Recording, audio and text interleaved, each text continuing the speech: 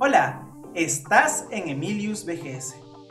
Cuando creíamos que Google no estaba creando ni apoyando nuevas iniciativas de realidad extendidas, aparecen sus nuevos experimentos WebXR para taparnos la boca.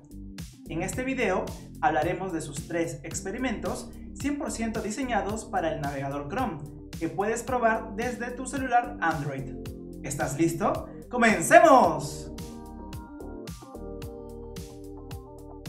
Google no se quiere quedar atrás en la carrera por liderar la industria XR, mientras que Apple, Microsoft y Facebook están ganando territorio muy importante en hardware, apps y sus propias plataformas sociales, Google sigue mejorando sus experiencias como Google Maps y otros servicios.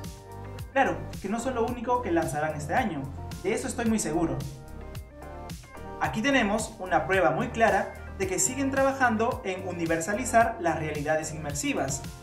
Sus nuevos proyectos WebXR te sorprenderán.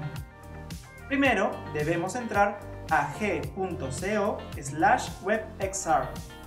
Allí encontraremos los tres proyectos habilitados y uno en desarrollo. Vamos a experimentar con Flume.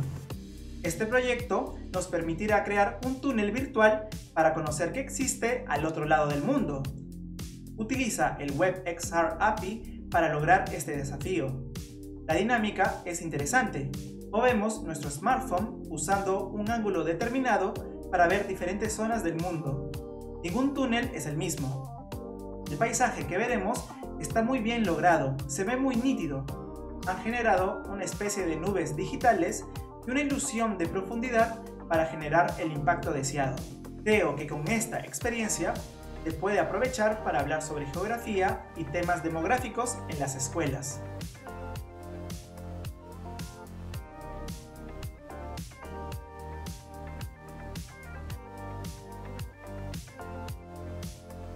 La siguiente experiencia se llama SODAR. Este es un proyecto necesario, puede resultar muy útil en estos tiempos.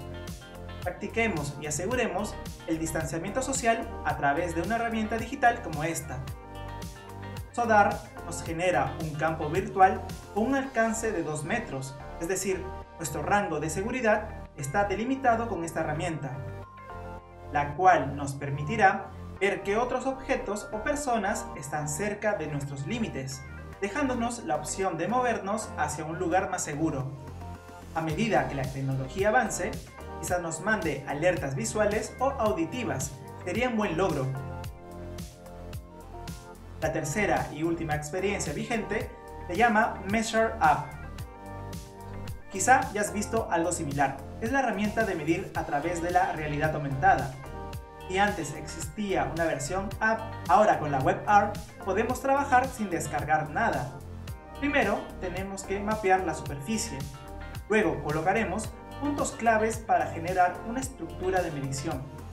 Tienes que probar e intentar varias veces para lograr una buena precisión. Posiblemente las condiciones de luz afecten su desempeño.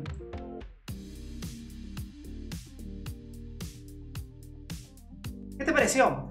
Estoy seguro que Google actualizará la lista de proyectos. Ellos están aún en la carrera. Esperemos más noticias al respecto. ¿Te gustó este video? Déjame un buen like y suscríbete. Esto es todo por el momento. Emilius BGS se despide. Nos vemos en el metaverso. Bye.